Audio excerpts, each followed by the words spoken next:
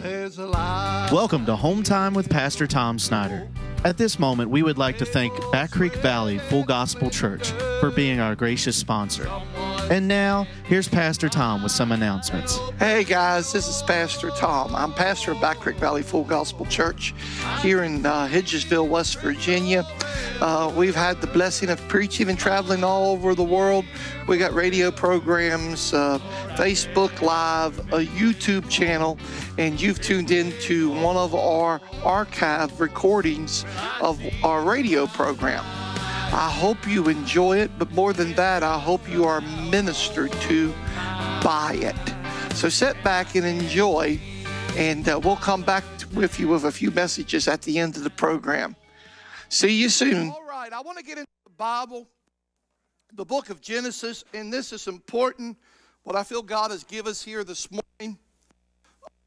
I'd say I'm gonna get, get in a hurry, but where are you going? What you gonna do? I, I, mean, I know a couple of you may have to go to work or something. I know Eden's got to go to work or whatever. But yeah, you're not going to the restaurant. If you are, it's just takeout, and you can do that anytime. Amen. So, you know what we go, you know, let's just go ahead and let God go and do what He's going to do. Amen. Don't you want to hear from God tonight? Let me share with you what happened last night in, in church. Pastor Tony Conley was preaching. We'd already had a beautiful worship service. Uh, brother and sister dance, and then Marcus and uh, the other brother was with us. We just, I mean, the worship service was just, I mean, treetop tall. They, they sang, uh, uh, I had them start out that song, Waymaker. And then they sang that song, Child of God, There's No Fear to a child of God, and the power of God moved. And then Brother Tony changed his entire message and uh, give a prophetic message. And why, in the middle of his preaching, he preached on what if. And the, and the basics were what if Moses wouldn't have went through the Red Sea? What if Shadrach, Meshach, and Abednego wouldn't went through the fiery furnace? Uh, what if uh, uh, Gideon wouldn't have uh, listened to God and, and, and, and conquered? And what the stories that we tell today, what if they wouldn't have done that? And, and he built it all up, uh, uh, you know, just tremendously. And then he got to the climax of his, of his sermon. And he said, What if this uh, coronavirus didn't exist? And what if the church didn't rise up to the move of God? And he built that thing up. You know, everybody's seeing it as a detriment. I'm telling you, uh, it's not a detriment. God is at work here. And when he got to that point in the sermon, I'm sitting back here about as far as Oscar is from me. Now, I've never seen this before in my life. Now, already once this week, I've seen an angel right here. God is moving in spiritual things in my life, and I'm seeing things that, you know, I've seen in the, I've seen angels in the past, but I'm seeing them more frequently. I looked up at Brother Tony, and I saw this. Um, it wasn't like an angel. I'm going to describe it to you as the anointing. I could see the anointing physically rest on him when he got to the climax of that message. What if? we didn't let God move in the middle of this coronavirus. And for that period of about two to four minutes, there rested on his shoulders. I'm going to call it an anointing, but it was a visible anointing. I could see it, and when he moved, it was like a shadow that was engulfing him. It was on his shoulders, and I could, I could see that. And I started, I was standing up because I was already standing up from the preaching, and I started looking around, making sure it wasn't the light playing tricks on, with my glasses coming off that organ, and you know how it is in there. And uh, sure enough, it wasn't. And when he got done preaching, I mean, when he got done that climax and went back into regular teaching, it went away. And I got up and shared it with the crowd. And uh, Brother Randy then told me later on he saw the same thing, and a couple other people in the, in the building saw it too. Amen in the midst of this, somebody made this statement like this God has always moved the strongest when the world's at its weakest. Did you hear what I'm saying? For some of you that's been wanting to see the extraordinary of God, God's moving in extraordinary ways. The miracles, the, the touch the power of God. And this has nothing to do with what I'm preaching on. When I was praying yesterday here in the church, I started praying that God would give me. Uh, give us more of the gifts of the Spirit and give me the gift. And I asked for a double portion. I've already got the gift of faith, but I asked God for a double portion of the gift of faith. Because the opposite of fear is faith. The opposite of fear is faith. And I feel that we need a double portion of faith.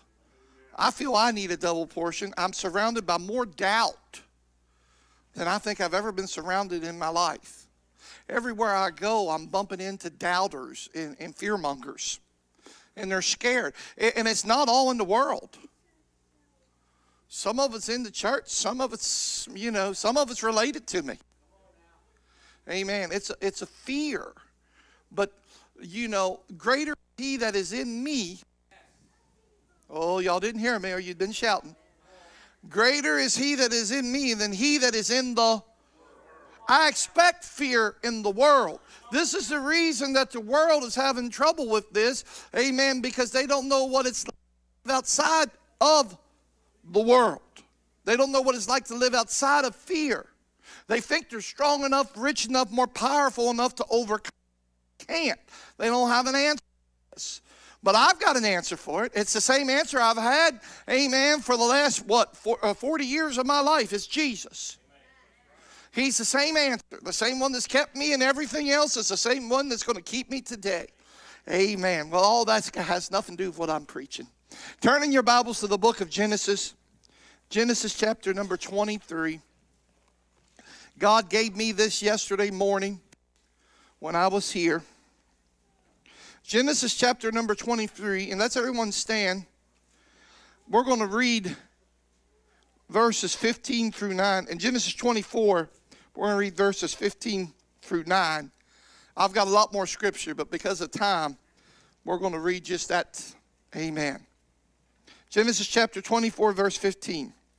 And it came to pass before he had done speaking, and behold, Rebekah came out, who was born to Bethel, son of Milcah, the wife of Nahor, Abraham's brother, with her pitcher up on her shoulder.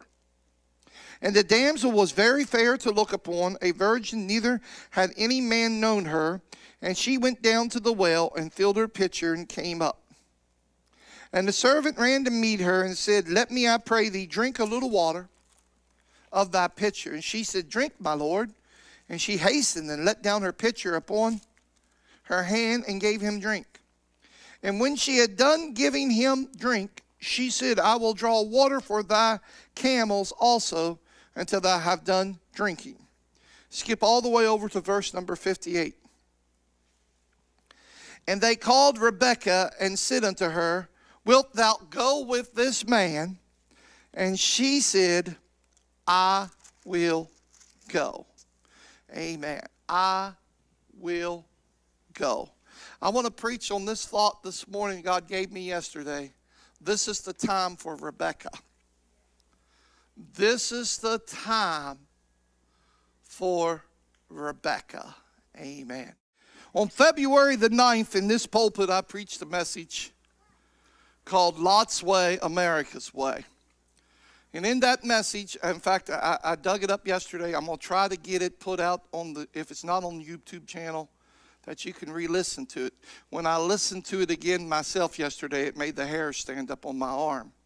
Some of the things that I said, I actually said in that message about the, the churches are shutting down at night. And the, the churches chose to shut down at nighttime on Sunday nights, and the churches chose to give up their Wednesday night services. And I talked about, if you remember right in that message, I talked about how it was a choice and how Lot chose the plains of Sodom. He wasn't forced to go into the plains of Sodom. And I, and I said, I told the results of Lot's choice and how that Abraham had prayed for Lot. And at the end, God did spare Lot himself and his two daughters, but Lot basically lost everything. And during that message, all through that message, I was sprinkled that God took care of Abraham and Abraham's seed. If you remember that message, if you were here. Um, and now looking back on what I'm seeing happening now, uh, God told me yesterday it's time for part number two. Yes, the, the days of Lot in America, uh, Lot is having a reckoning.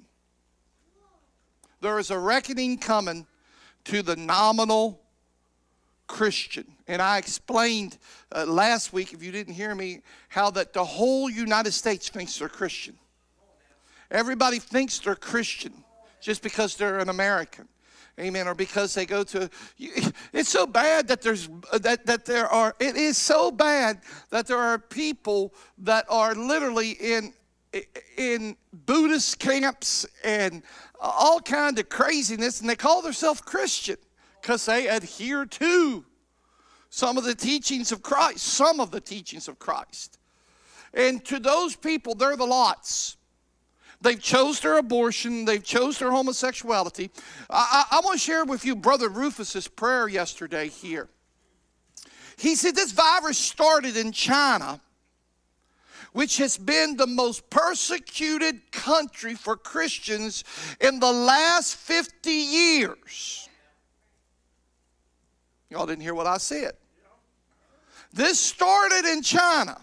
Right now, it's moving in the mega centers across uh, uh, the United States. If you will do the research, some of the places that this has broke out the biggest, and you mark my words, it's going to have the, the biggest effects. You check out some of the leaders from those districts and the things that they have voted for. You, you follow this. Someone says it's coming to everybody. It is not coming for the one that is covered by the blood of Christ. Now, if you disagree with me, you don't open yourself up to that. That's between you and God. I'm standing on the word of God. No plague shall come nigh my dwelling. Amen. And if I drink any deadly drink, it shall not harm me. And if a snake bite me, I shall throw it off into the fire. I'm getting way ahead of myself. But as he prayed that prayer, and as we looked, the Lot is receiving what Lot's receiving. Now, I'm going to say something here, and I've realized this is on Facebook, and I've realized there may be some here that disagree with me. The wrath of God, what God is doing, God is going to do. Now, we can be like Abraham, and God will listen, and God will be merciful. Do you hear me? But at the end of the day, God already knew how many people were coming out of Sodom. He started with a huge number and came down, and there was only four that walked out of the city. Amen. I'm sorry I'm spending so much time, but I feel like some have forgotten, and there's some that wasn't here to hear that part of the message. At the end of the day, God was merciful on Lot with Lot. He got him out of the city. But really, at the end of the day, uh, the Moabites and the, uh, I forget the other uh, height that came out of the loins, the, the misery that came because of the choices that they had. Amen. Lot's fate has been sealed. I knew I going to give an amen on that. But you read your Bible, Lot's fate was sealed when he chose the cities of Sodom and Gomorrah. The only thing that could possibly change this is we're living in the dispensation of grace. But with that in mind, I want to begin my message. From verse from chapter 23, verse number 19. And after this, Abraham buried Sarah. Sarah did not get to see Rebekah. Sarah did not get to see her son Isaac marry Rebekah. This is important for later on in this message. And after this, Abraham buried Sarah, his wife, in the cave of the fields of Machpelah. She died. And as I was praying and I was this message, uh, just about everybody that came out of the World War II generation and those that came out of what we call the divine healing moments in the church, uh, the latter rain movements in the church, the Billy Grahams, the Oral Roberts, uh, all these great men, they died. They died. It was God's will for that time to shut. Amen. They died. God has showed me. Amen. Uh, uh, the Norman Silvers, the Raymond Jones, the Hennis Foxes, the Harold Hesses of this area, their time has come and gone. Amen. Now, God's not done, but there's a change on the way. Ooh, we don't like change. There ain't not one of us in here like change. Amen. Except for my boy CJ. He changes his clothes worse than anybody I've ever seen. Amen. He changes his clothes. My goodness, he likes to change his clothes. Amen. But let me tell you, we don't like change. But there's a change coming. Now, I don't know what's going to be at the end of this thing. Uh, God hasn't showed me that. But I will tell you that the, the current church, as you see it, will no longer look the same at the end of this. Now, that you can take it to the bank. And I will promise, this is my opinion. I'm not prophesying, but the mega huge numbers in churches and stuff, I, I believe that that is coming to a close. Are we going back to the cottage prayer meeting and the, and the cottage churches? I, I, I don't know, but I'm, I am telling you that there change that's coming. Change is already Change is coming. And, and, this technology, I know that there's a lot of you getting your church, amen, from this, and, and that's really great if that's what you got, but you can't have point of contact. You can't have your someone lay their hands on you and pray for you. You can't have somebody anoint you with oil. You can't receive a spiritual hug or a kiss on the cheek through this. Amen. There, there's all kind of. This is not the answer. Amen. This is like a band aid. This is not the answer. Will we, will we be going like the China church that has been in existence for decades underneath the ground having church? And it's one of the most powerful churches in the world, and you've never heard of it. It could very well be that that is the way that the United States is coming.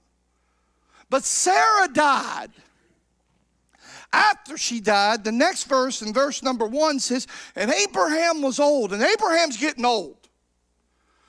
I hate to admit this, but I'm getting old. Amen. Some of you in here getting old. Amen. When, Mike was talking about running, Phil Munson turned around and looked at me and said, The only one I'm running to is Jesus. Amen. Our, our, our, running days are, you know, unless God gives us supernatural touch, and He is, there are a few that God is giving a supernatural touch and giving them strength.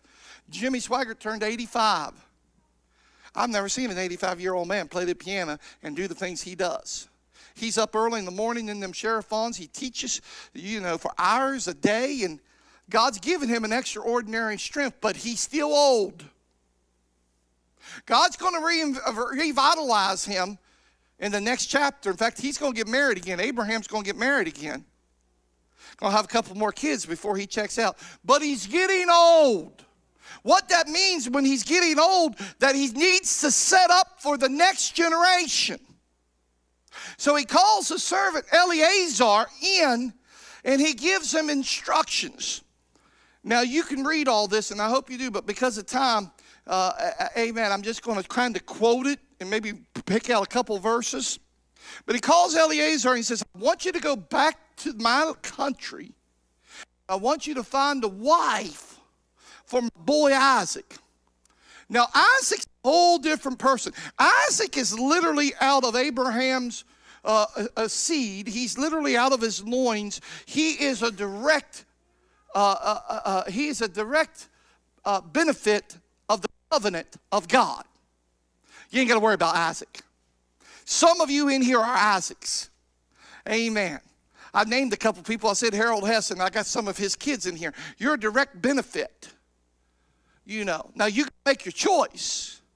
Amen. But you're a direct benefit of some of these ones. Uh, Norman Silver, some of you in here, you're a direct benefit of the covenant that God had with them. All you got to do is receive it, it's yours.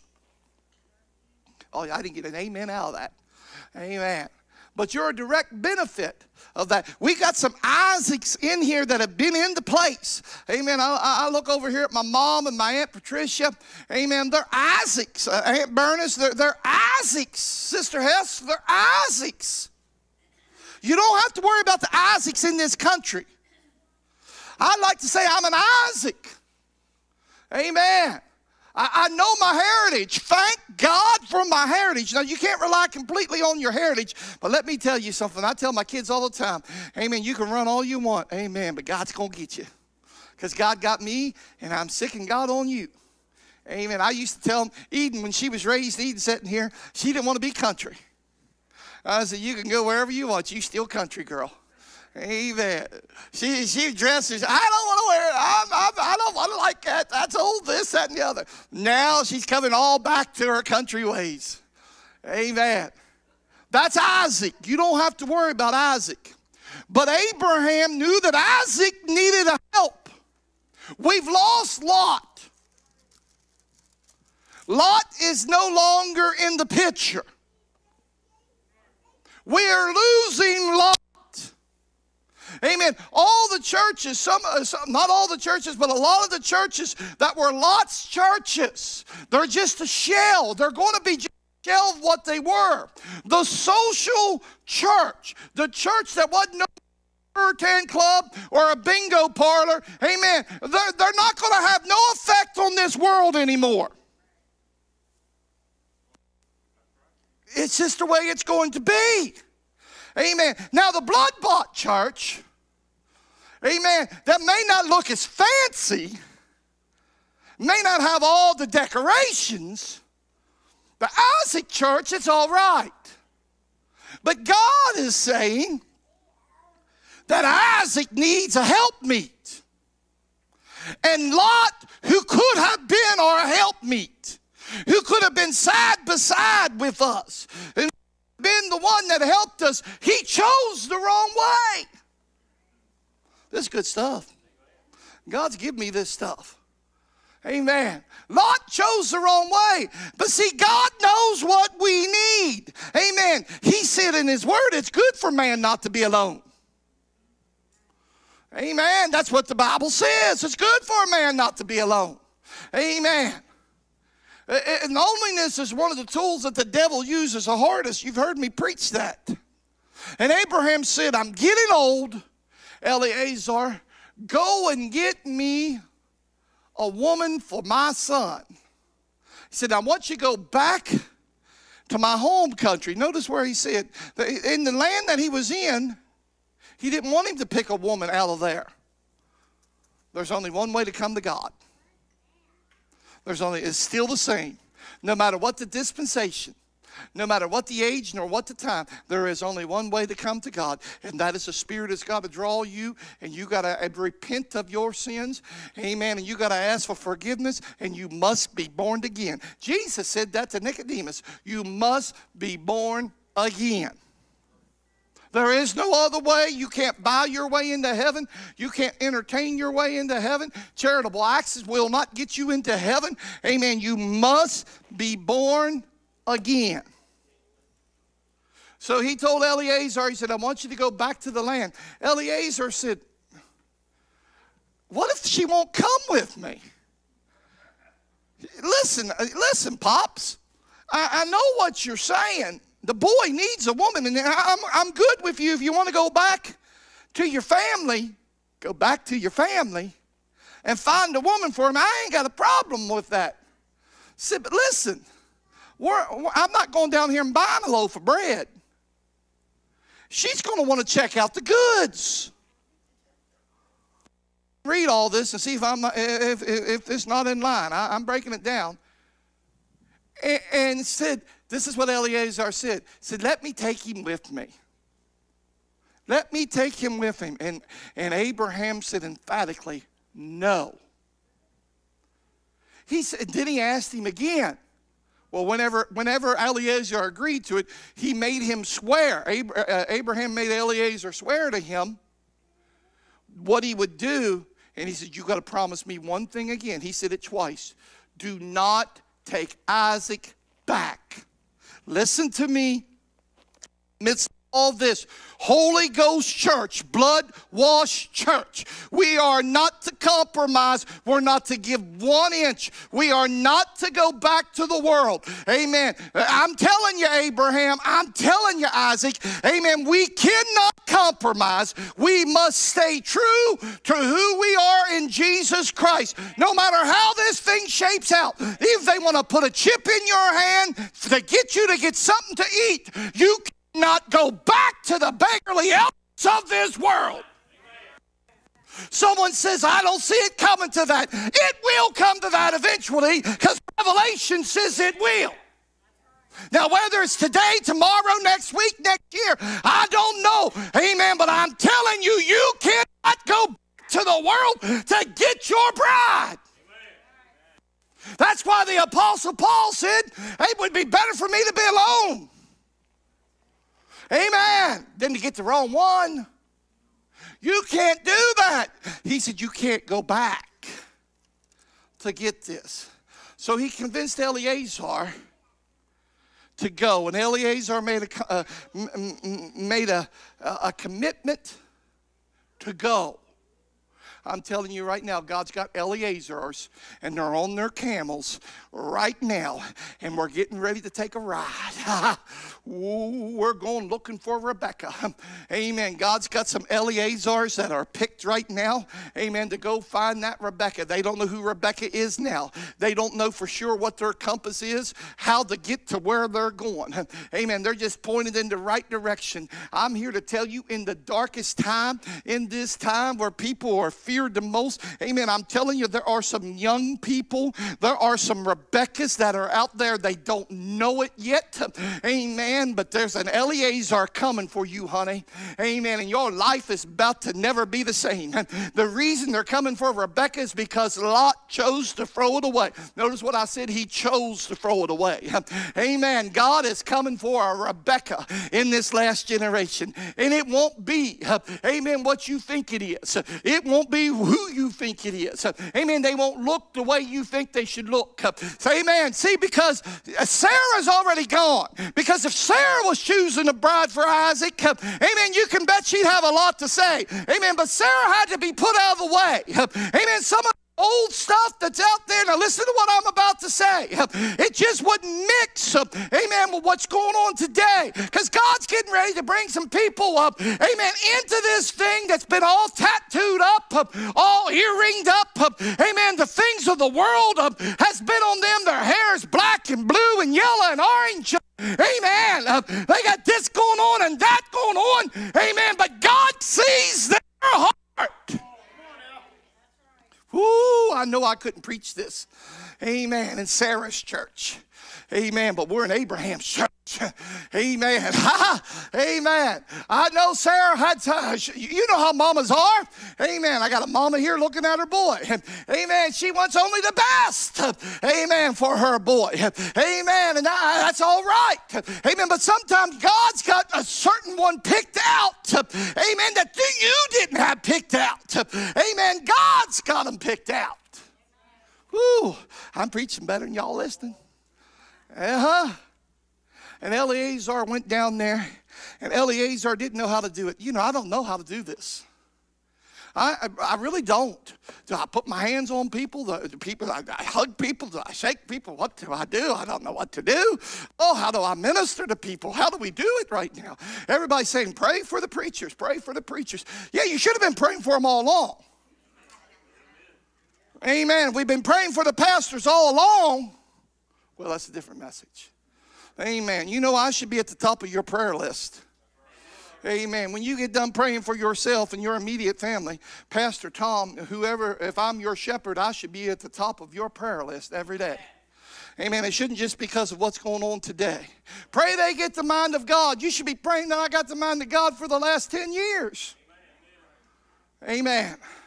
And Eleazar, he, he, he, he don't know what to do, so he gets, he gets down into the country and, and, he, and he starts talking to the Lord. That's the only thing I can do is talk to the Lord. And he said, Lord, send me, send me a damsel that'll give me a drink. Send me a damsel that'll give me. Hey guys, Pastor Tom coming back at you. And I uh, hope you've enjoyed the message that you've just listened to. I hope you were ministered to by it and that you'll be able to use it to minister to somebody else and help us spread the word around the world. If you've enjoyed this, if you've got questions, comments, or a prayer request, you can contact us at Back Creek Valley Full Gospel Church Facebook page. And uh, if you would like to give a donation that helps us support all our media projects and our mission projects to help us spread the gospel around the world, uh, just see the PayPal link below. Now, remember, friends, this is the first day of the rest of your life. Go live it for the Lord.